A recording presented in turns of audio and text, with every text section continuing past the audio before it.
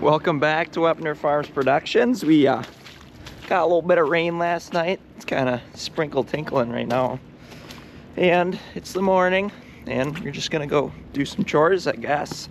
See, uh, see what we can get ourselves into today. You never know on a day like today. So first order of business, we got this cow over here. Over here. She's got mastitis. We got to give her a treatment of today to help her clear that up. Here she is. She's a little bit older cow. Tell she's a little bit dirty. She hasn't been taking care of herself because she obviously has not been feeling the greatest. But we're gonna give her some treatment and that's gonna help her turn around.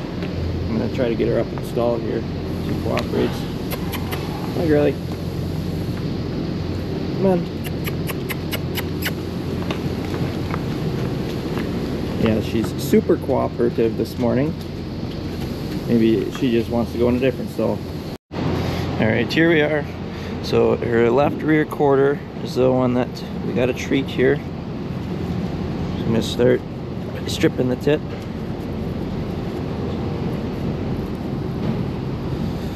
Seeing if there's any mastitis to strip out. She's not super mastitis so I don't think there's gonna be much if any, chunks. You can just tell there's a little bit of discoloration to it. If I can even get any. But yeah, so gonna clean her teat end with a wipe.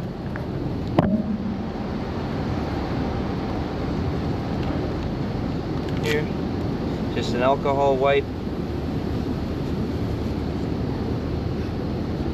Get it cleaned off good so that we don't get any extra bacteria in there. And I got this tube of today. Push it up there. Give her udder a little massage. Get it all worked up in there. Buttercup gets to go home today. This is 327. Her name is Buttercup. She had mastitis and she seems to be cleaned up so I'm going to open up this gate and chase her out into the big pen again. She goes back out here. It says pen 5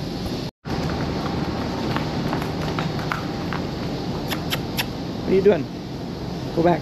Go back home. Come on. There you go. No you're not coming in here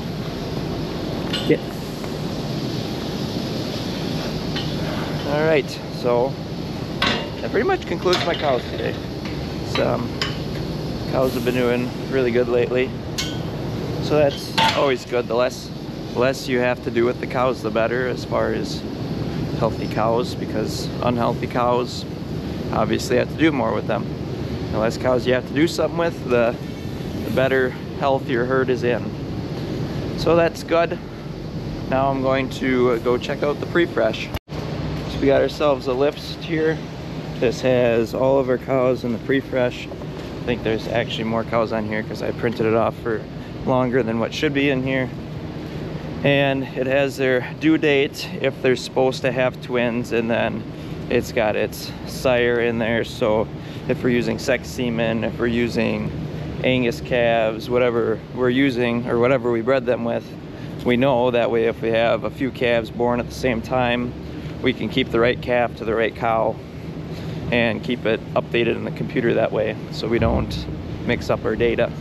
So we got a can of pink tail paint. I found this to be the best color, especially for black cows. It shows up the best, I think, and it seems to last the longest. So that's why I choose pink. Otherwise, orange seems to work. Uh, green, hard to see. Orange isn't quite as good as pink, but it works. Yeah, gonna go mark these cows up. Almost all of them are locked up. There's two stragglers. She might lock up, yes. But we're just gonna go right down the line and mark them up.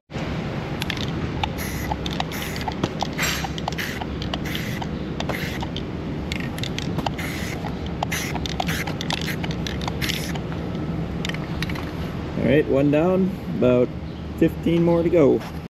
So check this out. Went to mark cows. We got two cows here that are due today. They don't look like they're gonna have calves today, but they're due today. So yeah, it's kind of part of why I mark them because, I mean, you look at them and say they're not gonna have calves, but they're due today. Also notice there's a lot of cows due on the 14th, so hopefully that's my weekend off. Because there's one, two, three, four, five, six cows due on the 14th. That's almost half the cows in this pen. So yeah, they're all marked up. They got pretty markings on their back and enjoying some feed. So that concludes this portion of my job. I don't see anybody that has to come out today, but we're definitely going to keep an eye on those two that are going to be past due. Those calves might be a little overcooked by the time they come out.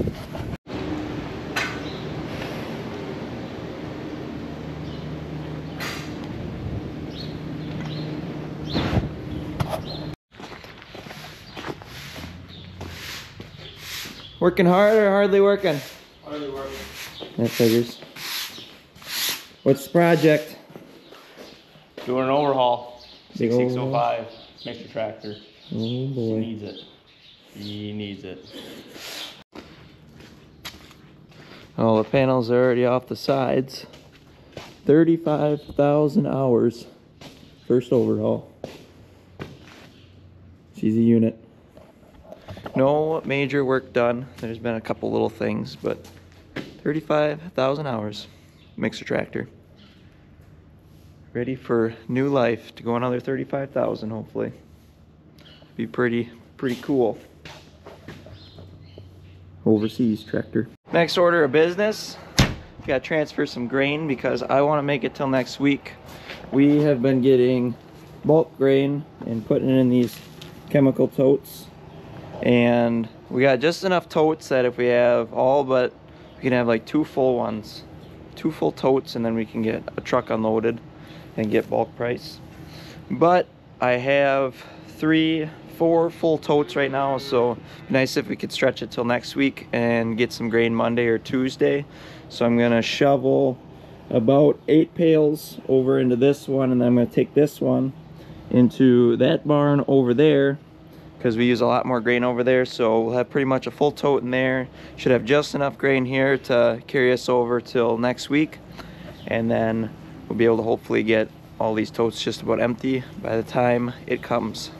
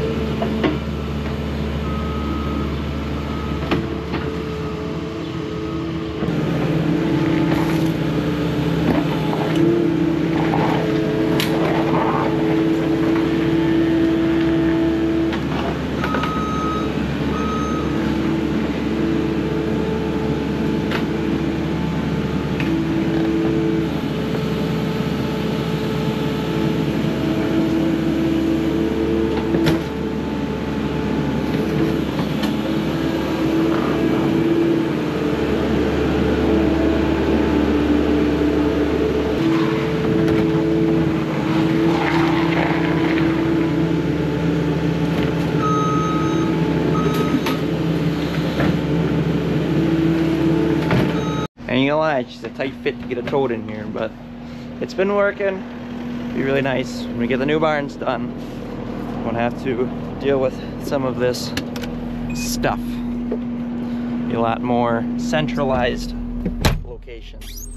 So we're gonna get this tote put away and then should be done with this job.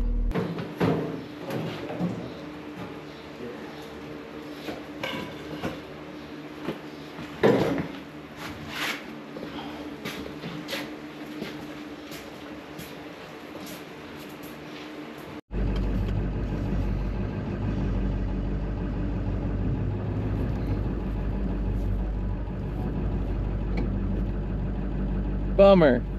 Seeing that it's nice and rainy and wet outside, it'd be a good day to move cattle. So we got the cattle trailer hooked up and we're gonna run over there. Looks like they just got done checking heifers. Maybe they're gonna check this side. I can see them off in the distance. And we're gonna move some.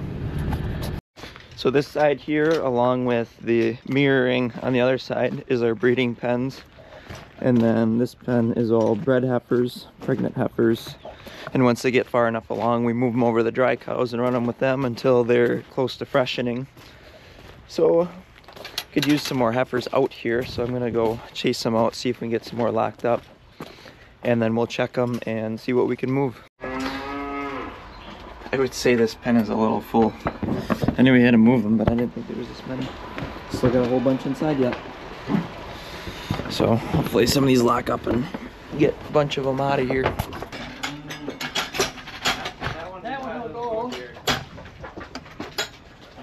I mean, she's big enough. Yeah, she's big enough, there's no doubt about that.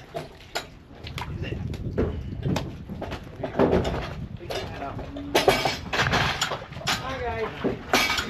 Come on, get in there. Go. Go, go, go.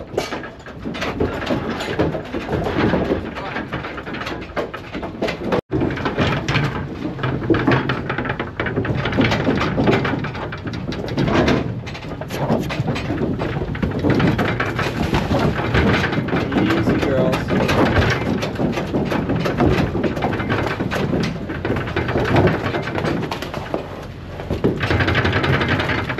Come on, last one.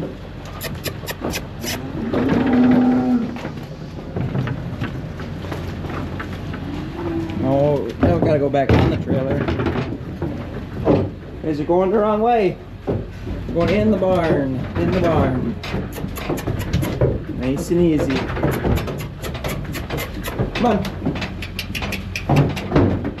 Come on, Tootsie. Here we go.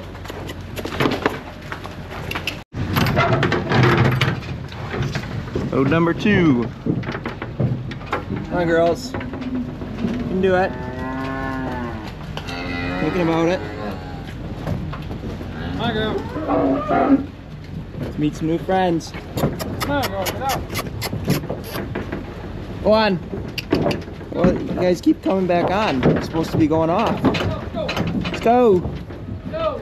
Let's go, ladies. Hi, go.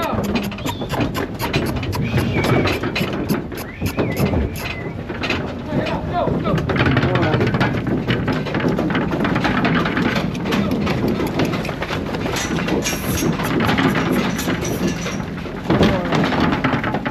There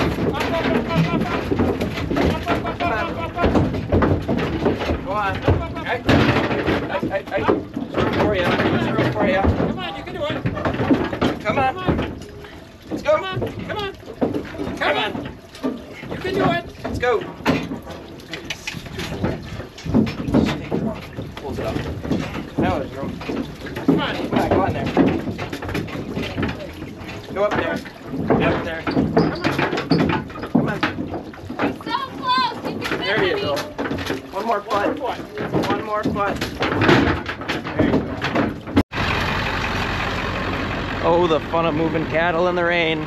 Good time. That's why I didn't change my clothes today. I was I was thinking ahead. We ain't gonna get we can change our clothes and not waste a pair of pants. Go girls. You ready to move her?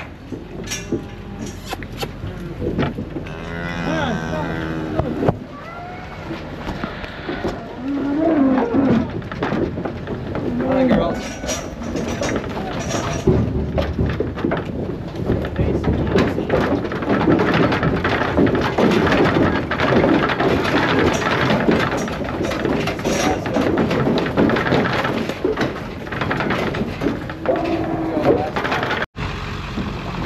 Last load. Now we gotta move pregnant heifers and fill this pen back up after moving them out.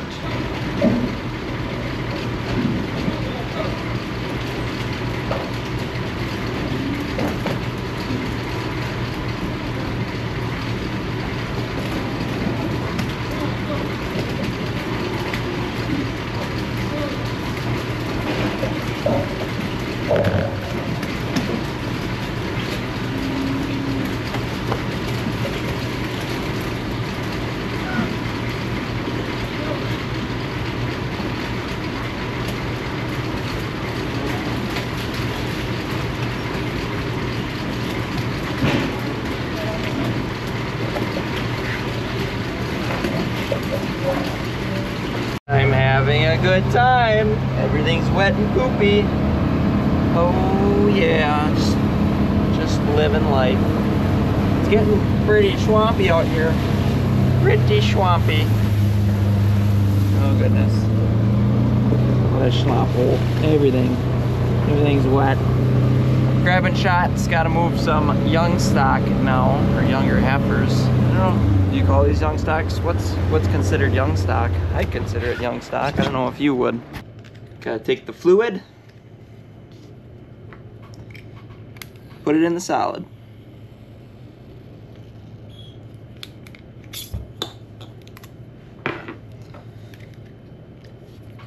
Give her a twist. Give her a shove.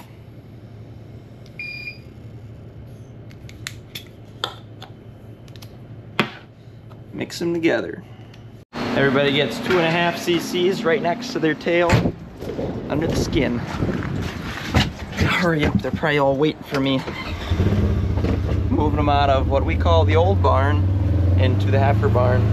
So the, the heifer barn, or what we call the heifer barn, is the barn we just took all those bred heifers out of and moved all those heifers around and we just moved probably about 60, 80.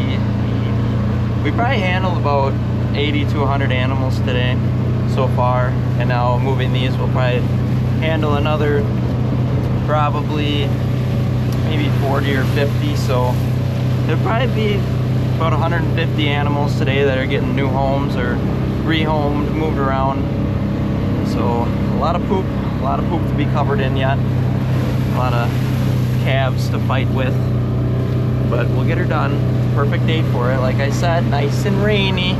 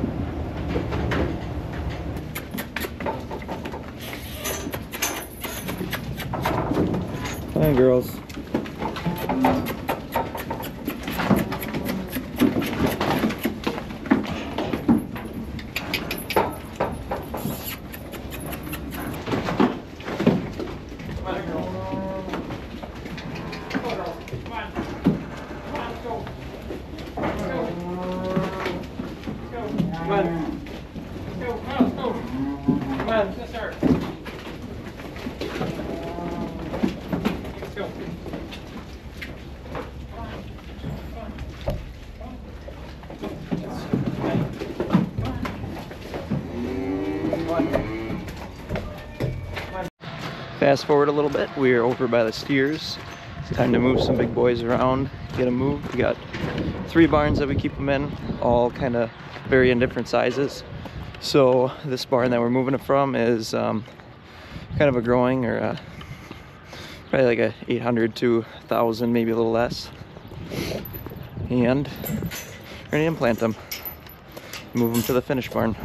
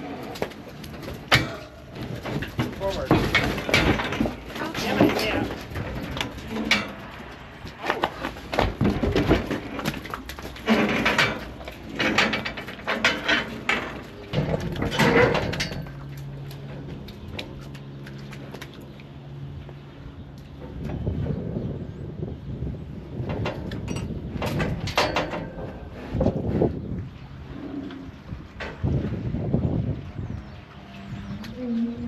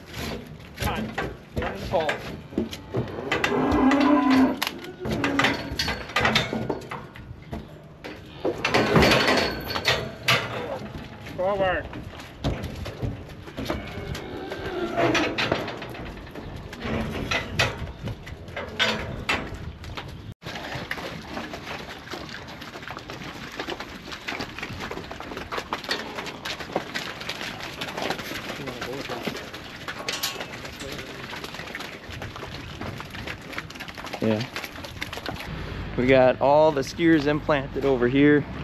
We're backing up the trailer, load them up, haul them to the finishing barn over there. Come on. Come on.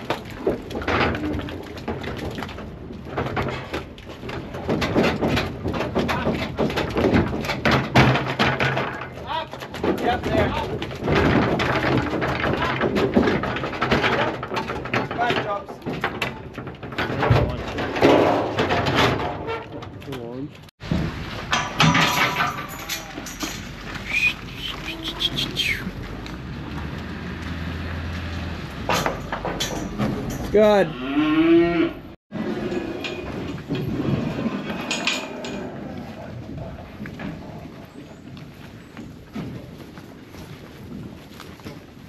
Hi guys. Stay over there. Stay over there.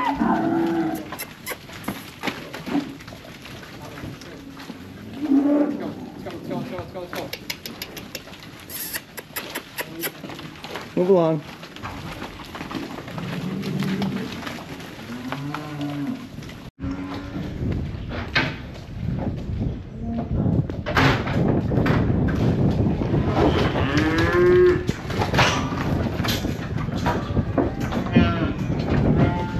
Come on, guys. Come on. Let's go.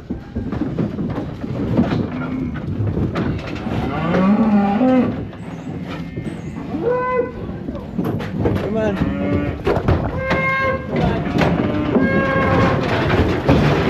There you go. There you go. Come on, last one. Hey, hey, hey, hey, hey, hey.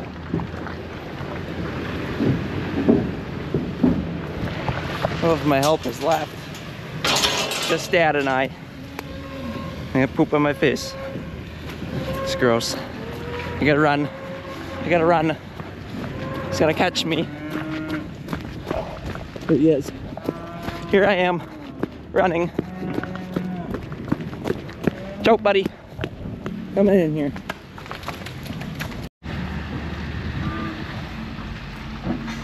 That'll work. Ready.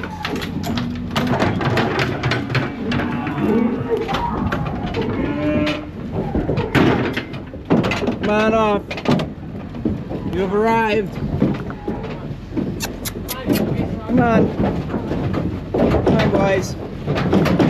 Come on, boys. There you go. Come on. Two.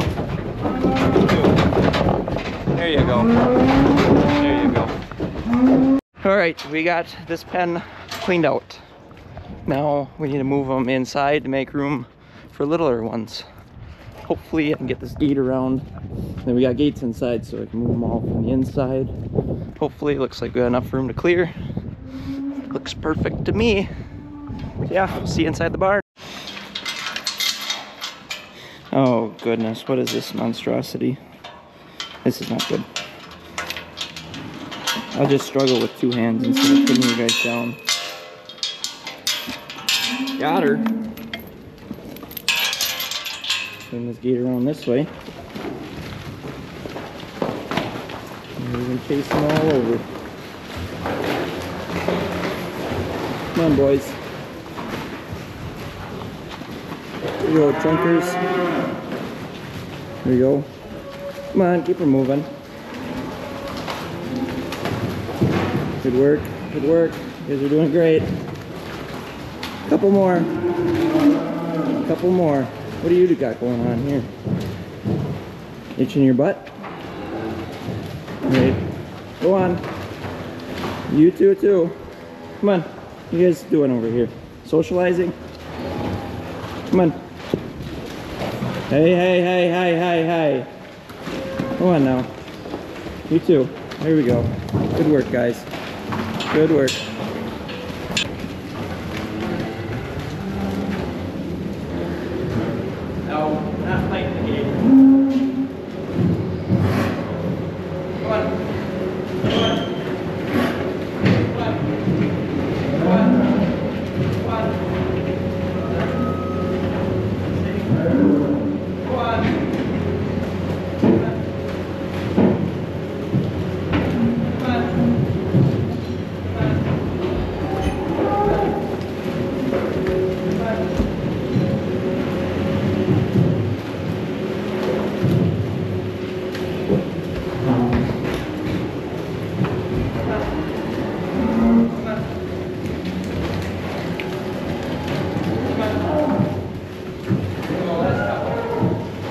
more socialized. Come on. Last one. For that side. No, we go. Follow. Me too. Nice weather, Ian. Keep working His barn's a slat barn or slat floor. Means there's a barn cleaner that runs underneath it, goes around, so there is absolutely no bedding pack in here. The only bedding essentially is manure. The floors all got slope to them, so it all works its way into the gutter. And had pretty good luck in it. Seems to work pretty decent for raising steers. Just in time for a little more rain, letting them out to eat. Check out their new pen. I gotta go down. Silly me. You guys like it?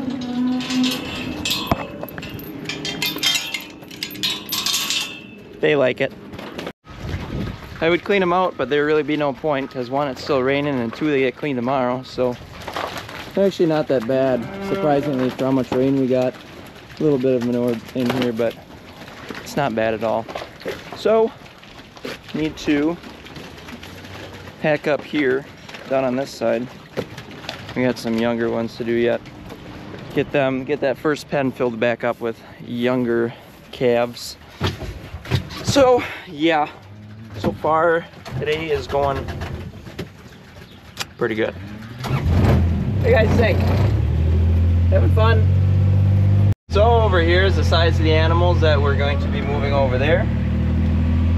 They're probably, I don't know, probably around 600 pounds, 700 pounds maybe.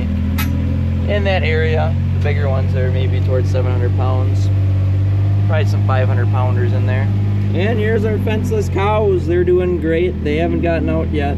We got just one poly wire strand doing perimeter, but they're allowed out about that far, straight down, allowed in the ditch. Not quite allowed to go down to the bottom.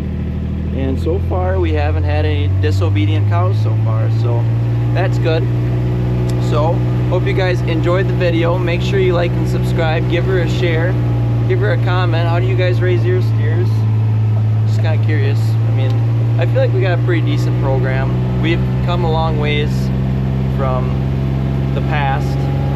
We've improved things, made steers grow more efficiently. So, as far as that goes, I think there's only feed changes and comfortability we can maybe change, stuff like that. But it's starting to rain, so I'm kind of sick of recording the rain because everything's getting wet. So I hope this was enough for you guys to enjoy, and we'll see you next time. Thanks for watching, thanks for the support.